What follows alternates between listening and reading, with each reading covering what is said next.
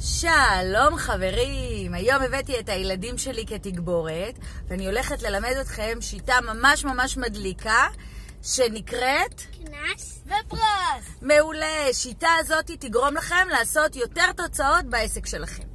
אז מה זה אומר? זה אומר שאתם עושים עם עצמכם איזשהו משחק. אתם אומרים, אוקיי, אני שם לעצמי איזשהו יעד. אם אני מוכר בכל יום באלף שקל, אז אני שם יעד למכור ב-1,500 שקל.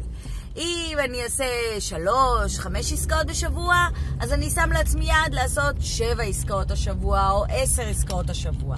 ואז, אחרי שאתם שמים את היעד, אתם גם מחליטים לעצמכם מה יהיה הקנס והפרס שלכם.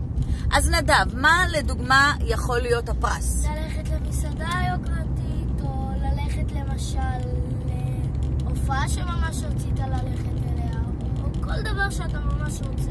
נכון, אפילו נו. לקנות לעצמך דברים כמו גאדג'טים לטלפון. נכון. דברים. מעולה. כל דבר שככה חשקתם בו ורציתם וזה, תעשו, תקנו אותו רק אם עמדתם ביעדים.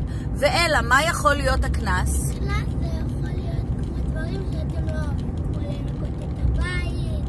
קנס לעשות חלונות, נכון.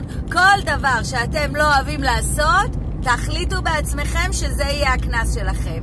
ככה אתם תראו שיפה מאוד, יהיה לכם משחק, ויהיה לכם כיף לשחק את זה עם עצמכם, וכיף לזכות בפרס, וגם בקנס תדעו שאתם משלמים את המחיר כי לא עמדתם ביעדים שלכם. אז שיהיה לכם רק עבודה בכיף ובמשחק. אני אדווה פוקס מסקסס, ואלה נדב ואלה הילדים שלי. תיכנסו לאפליקציה שלנו, יש שם מעל 3,000 סרטונים.